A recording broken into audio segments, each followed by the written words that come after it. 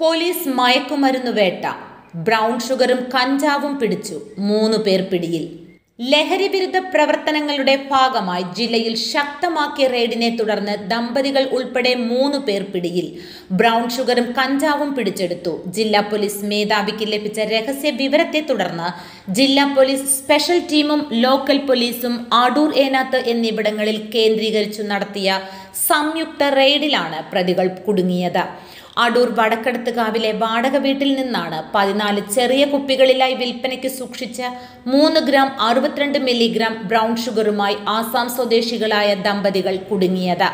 ആസാം മാരിഗാൺ ചാരായ് ബഹി ലാഹൌരിഗഡ് പലജുരി ഇരുപത്തിയാറ് വയസ്സുള്ള ഫക്കറുദ്ദീൻ ആസാം നാഗയോൺ പടിയച്ചപാരി റൌമാരിഗയോൺ എന്ന സ്ഥലത്ത് ഫരീദ ഖത്തൂർ എന്നിവരെയാണ് ബ്രൗൺ ഷുഗറുമായി ജില്ലാ പോലീസ് മേധാവിയുടെ സ്പെഷ്യൽ ടീമും അടൂർ പോലീസും ചേർന്ന് നടത്തിയ പരിശോധനയിൽ പിടികൂടിയത്.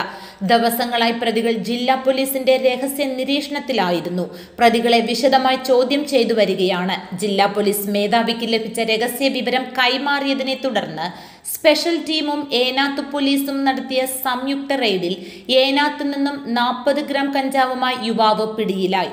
കൊല്ലം കുന്നത്തൂർ ശിവവിലാസം വിഷ്ണുവാണ് അറസ്റ്റിലായത്.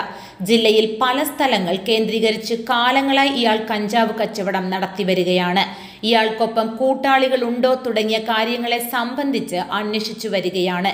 ജില്ലാ narcotic cell DYSP K A വിദ്യാധരന്റെ നേതൃത്വത്തിലുള്ള പ്രത്യേക പോലീസ് സംഘവും അടൂർ ഏനാത്ത് പോലീസും റെയ്ഡുകളിൽ പങ്കെടുത്തു ഇത്തരം പരിശോധനകൾ ജില്ലയിൽ ശക്തമായി തുടരുമെന്ന് ജില്ലാ പോലീസ് മേധാവി അറിയിച്ചു news desk Adoor news dot com